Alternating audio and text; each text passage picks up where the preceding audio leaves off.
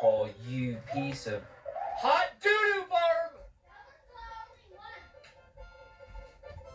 That was the only one I needed. Why did I do such a flaccid jump there?